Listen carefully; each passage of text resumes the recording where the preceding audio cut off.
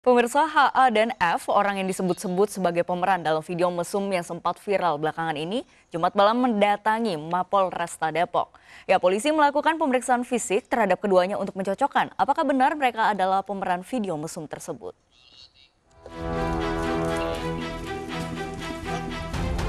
Kasus video porno berjudul Mahasiswi Universitas Indonesia akhirnya mulai menemukan babak baru. Kedua saksi yang dituding terkait kasus video mesum itu akhirnya mendatangi tim penyidik Polresta Depok. Keduanya menjalani pemeriksaan hingga Jumat malam.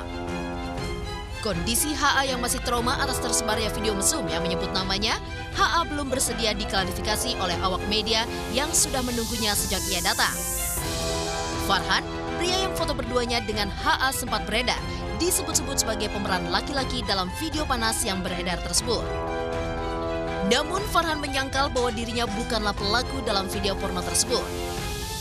Bahkan teman pria HA ini juga meminta polisi segera menangkap pelaku dan penyebar video porno berikut PIC halaman beranda IG temannya tersebut karena dianggap sebagai pencemaran nama baik. Hari ini telah saya sampaikan kepada penyidik bahwa satu, saya bukan pelaku yang ada dalam video yang beredar. Kedua, saya telah menjadi korban fitnah dan pencemaran nama baik dalam hal ini. Dan saya minta kepada netizen untuk tidak mengaitkan nama saya kepada video yang beredar.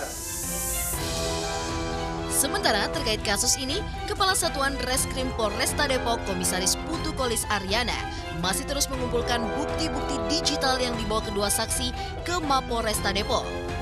Uh, ada beberapa bukti yang sudah diserahkan oleh dua orang tersebut kepada penyidik. Nanti uh, kami pelajari dokumen-dokumen tersebut.